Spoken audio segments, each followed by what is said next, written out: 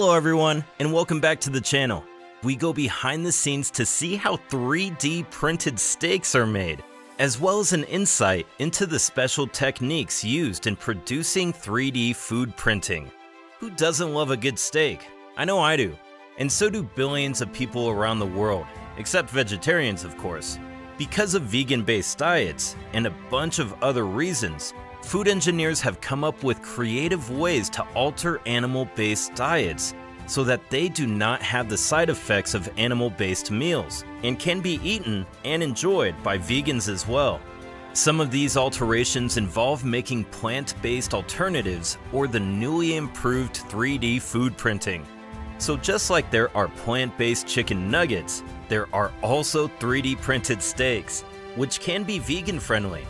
If you wonder how these are made, you're about to get some answers. I know I need some. The 21st century has ushered in a lot of crazy inventions, but who would have thought that it would get to a point where foods are eaten straight out of printers? For the past couple of years, there has been a lot of interest in finding ways to abolish the intense livestock farming that is currently happening on our planet. And while there have been a lot of ideas, the most successful ones have gained popularity fast. One of them is 3D food printing, which involves using a printer and a food ink to provide an exact copy of a kind of food that would otherwise have been gotten from a bunch of slaughtered animals. Since 3D food printing was introduced in 2016, some kinds of foods have been produced using this technology, and some of them include pancakes, burgers, sausages, chocolate, and now steaks have been added to this list. 3D printed steaks have become increasingly popular over the past few years, so much so that they are exclusively prepared in some fancy restaurants worldwide. At this rate, cows will no longer be the most important source of beef, and the practice of livestock farming will no longer be as important as it is now. How are these 3D printed steaks produced, you might ask? First, it is important to understand that 3D printed steaks can be made using different raw materials, and depending on which one is used, the steaks can be either vegan or animal based. The broad overview of how this system works is that a food printer is programmed with the diagram of what the printed steak should look like.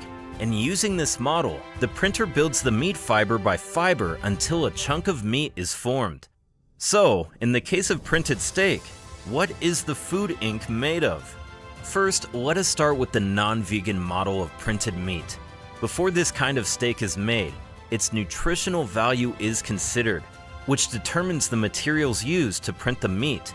Generally, Good meat contains muscle fibers, lipids, and myoglobin, a protein component that gives it its bright red color.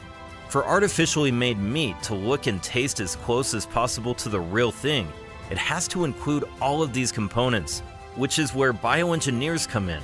The bioengineers extract bovine stem cells from a cow or chicken egg, and these cells are cultured in a lab until they differentiate and begin to produce the cells of interest. These special cells are muscle fibers and fat-producing cells which are observed until a huge mass of each kind is produced. The muscle fibers are collected and put into a plastic tube which is placed into the food printer, and the fat extracted from the lipid-producing cells is also extracted in this manner. According to the design programmed into the printer, the muscle fibers are pushed out through a nozzle and layered on each other until the desired pattern is achieved. This process is known as extrusion. Meanwhile, the liquid components such as myoglobin juice and fat are sprayed on the meat as it is formed, using a process known as inkjet printing. However, this process does not occur as randomly as it sounds. The fat, for example, is applied strategically between the layered fibers, giving the steak its marble appearance, which is largely preferred by top chefs. Apart from adding to the appearance of the meat, marble steak is generally known to have better taste and texture, so this step is quite important, especially since the 3D printed meat is not supposed to taste so different from natural meat. The entire printing process could take between 1 to 3 hours, depending on the steak's complexity. Like regular beef, printed meat still has to be cooked before being eaten. And even though they are not vegan, this type of beef still has a couple of benefits compared to regular meat. Since it is made from cultured stem cells, the nutritional benefits of this kind of meat are more, and they pose less risk to people with cardiovascular diseases, diabetes, obesity, etc. If you're a vegan and prefer plant-based diets, there is also a kind of printed steak that you'd be interested in. For vegan printed meat, the food ink is made from a mixture of different plants or plant-based components, including legumes extracted from plant protein, coconut oil, fruit, and vegetable dyes, and many others. Several establishments worldwide are into this part of 3D printing, and the ingredient combination for each is pretty unique.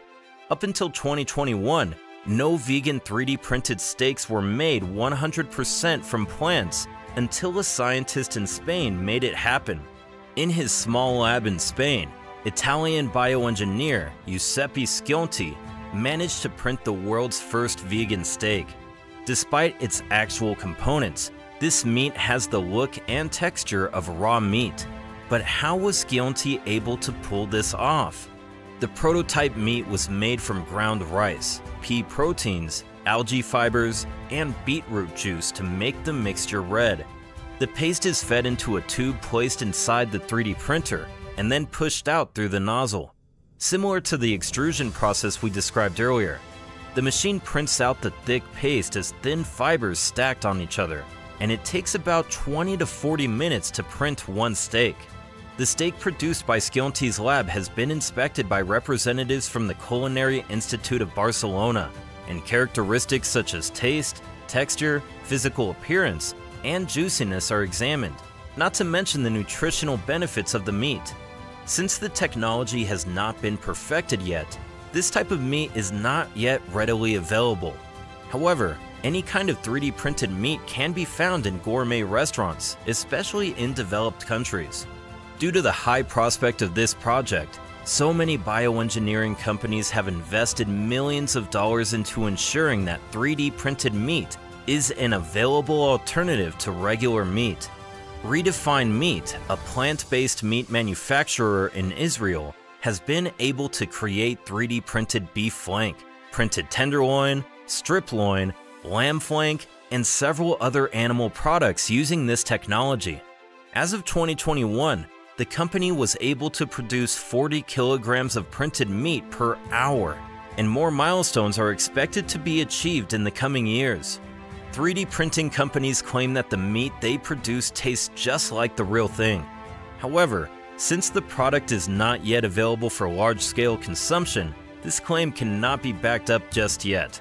Nobody, not even vegans, would be interested in eating make-believe meat if the taste doesn't add up, no matter how accurate the meat's texture or other physical qualities are.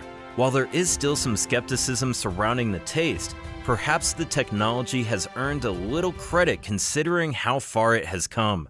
I mean, if the Japanese Wagyu beef can be replicated perfectly, we would just have to trust that they have the taste part on lock as well. Would you be down to try 3D printed steak? I'd try it, but I'm not getting my hopes up. Leave your answer in the comments section below.